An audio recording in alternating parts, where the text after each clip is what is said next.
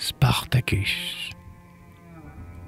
C'est l'heure où la nuit sombre a déployé ses voiles, où dans les cieux déserts s'allument les étoiles, où l'enfant au berceau s'endort frais et vermeil. La plaine au loin s'étend couverte de ténèbres. On y voit vaguement quelques mares funèbres qui demain reluiront, rouges, au grand soleil.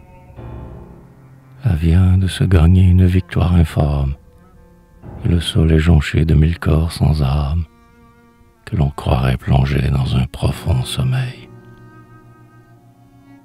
Ce sont les restes froids d'hommes qui furent braves. Rome les façonnait au dur métier d'esclave. Il est né courbé sous la loi du plus fort.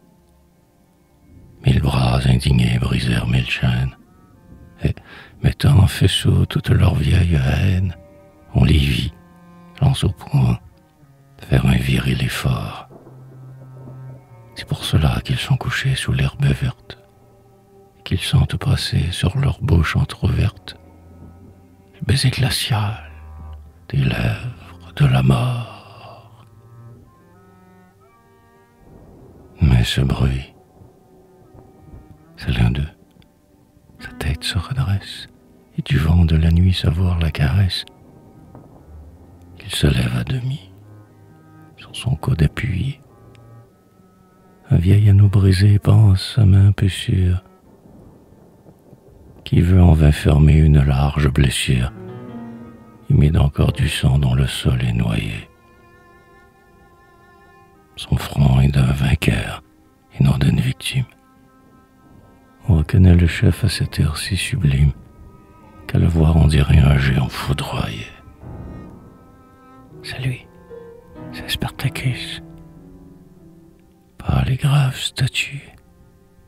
Il est là, sous le ciel, triste, l'âme abattue, mais debout. Un rocher soutient ses membres là. Hier, il était fort. Hier, il était libre. Hier, Rome, à son nom, tremblait au bord du Tibre. Ses soldats l'acclamaient.